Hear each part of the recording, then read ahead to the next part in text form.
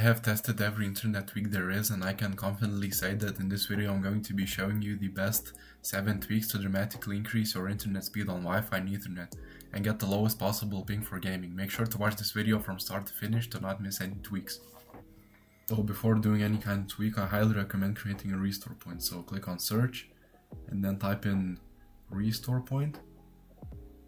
And Right here click on the first one and in this one you go and click on create. Then you can name it however you want, but for me I named it the restore point, so just name it however you want.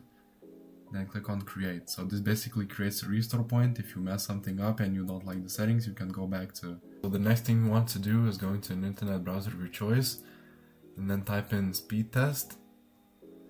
Then click on this first one. I will also leave the link in the description. And then click on go. So with this we basically want to measure our internet speed before and after the tweaks. So measure your speed right here. Uh, write down the download and upload and the ping somewhere. And I also want you to comment down below your speed and if this video helped you. The next thing you want to do is right click on start, click on settings, and in here go to Windows Update and click on check for updates. So just make sure that you are on the latest version of Windows and if you are not then update Windows because this usually fix a lot of known bugs and issues with internet and Wi-Fi. Okay, so the next thing you want to go and do is update your drivers. So I will leave in the description below uh, a few websites. So first of all, you need to figure out which kind of drivers you need. So go here and type in uh, device manager, click on this. Then in here, go to network adapters. So for me, I currently want to update my Wi-Fi driver. So right here, and then it will have your exact uh, driver name that you need. So Intel Wi-Fi 6E AX211. Uh, but for example, if you're using Ethernet, more than likely you will have a Realtek PCIe family controller. So yeah, right now I want to update these the Wi-Fi drivers. So click on here and then download this, accept the terms, and the driver will download. Okay, so just wait for it to download. Okay, so once it's downloaded, uh, double click on, click on yes in the pop-up and then in here just click on next. I will not update right now but you will just go through the installation process. It's really simple. So the next thing you want to do is right click on settings then go to network and internet and then choose ethernet or Wi-Fi whichever one you're using. So for me I'm using ethernet. Okay and then in here uh, metered connection make sure this is disabled because this will uh, decrease your speed to save data.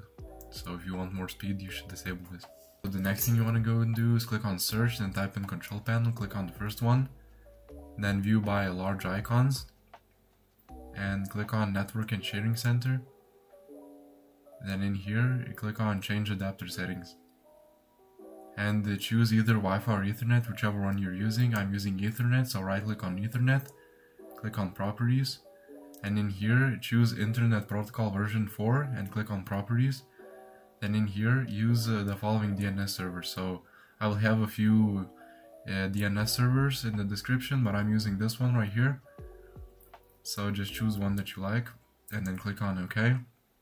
Then go back into search and type in CMD. Then make sure to right click and choose run as administrator. This is really important. And then in here I will have the commands in the description, so just uh, input them one by one. So first command is ipconfig slash flush DNS, enter, then input another command which is ipconfig uh, slash uh, register DNS, and then enter, wait for a bit, and then type in ipconfig slash release, and click enter, and then type in ipconfig slash renew. Enter. Wait for a bit. And then the next command is going to be uh, net sh uh, winsock reset. Enter. And yeah that's it. Okay so the next step is going to be open search again then type in device manager. In here uh, find either your Wi-Fi card or your Ethernet adapter. So for me, I'm using Ethernet right now, so I will right click on Realtek and click on properties. Then in here, go to advanced and then uh, copy my settings. So advanced EEE disabled ARP offload disabled. Auto disable gigabit is disabled. Energy efficient ethernet disabled. Flow control disabled. Gigabit Lite disabled. Green ethernet disabled. Interrupt moderation disabled. Uh, IPv4 disabled. Large send offload is going to be disabled for both of them. And scroll down and maximum number of RSS. Mm, make sure this is the maximum amount, so for me it's 4. Then power saving mode, disable this one. Then priority and VLAN, priority enabled. Then go to uh, this one and then click on disable, enable, I'm sorry, enable this one. And then shut down wake on LAN disabled, speed and duplex. Either the 1 gigabit option or auto negotiation, but for me I'm choosing auto negotiation, I think it's the best one. And then don't change DC TCP, we will change them later on. And then go to UDP, for IPv4 disable and for IPv6 also disable. Then wake on magic packet disable.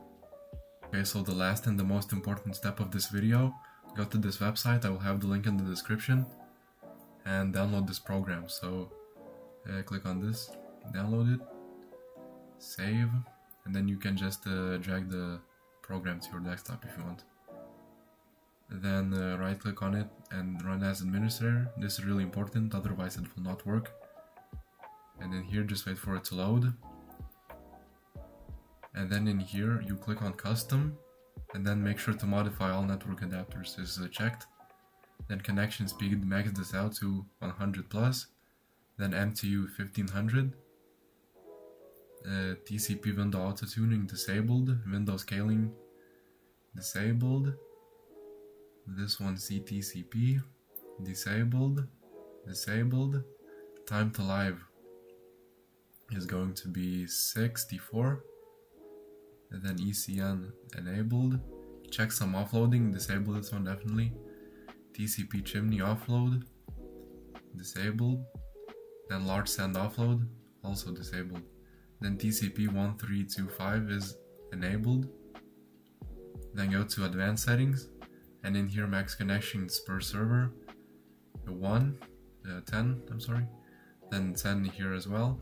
Then local priority is going to be 4 host priority is going to be 5 DNS priority is going to be 6 and net priority is going to be 7 then max this is going to be 2 then this one is going to be disabled. Then initial RTO is going to be 2000 and minimum RTO is going to be 300 okay so then this one you're going to type in 0 then optimal then network uh, throttle index is going to be disabled and system responsiveness is going to be gaming.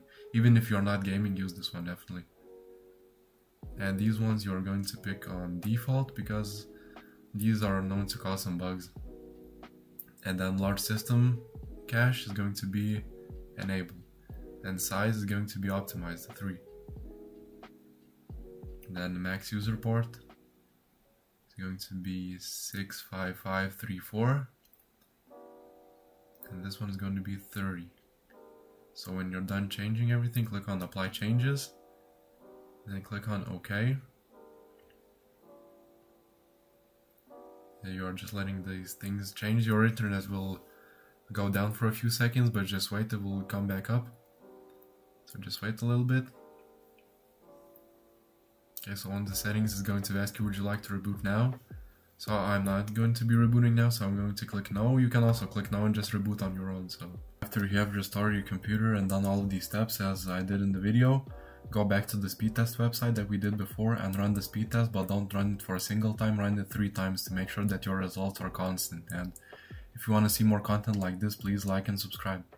Thanks for watching guys.